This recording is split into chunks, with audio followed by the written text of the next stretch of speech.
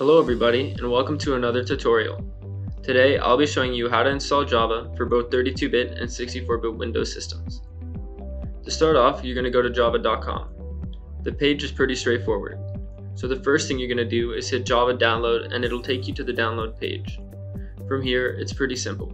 If you have a 32-bit system, all you have to do is hit agree and start free download and follow the installer. If you have a 64-bit system, you'll have to do a few extra things.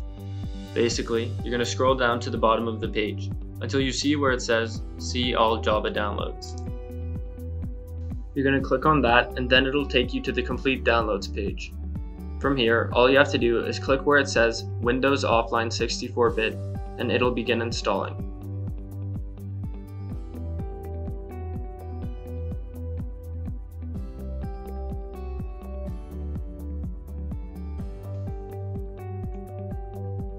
Once the download is finished, you just have to run the setup file and click install.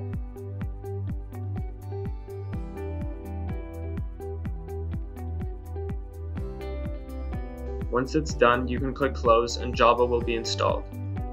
If you already have Java, then you can check what version you have by going into the search bar and typing cmd to open a command prompt. From there, you're going to search java space dash version and hit enter. It's important that you put that space in there because it'll give you an error if you don't. As you can see here, the Java version will show up, as well as what system it's running. As you can see here, I've got the 64-bit version of Java installed on my computer. Anyway, that's it for today's tutorial. I hope it helped, and thanks for watching.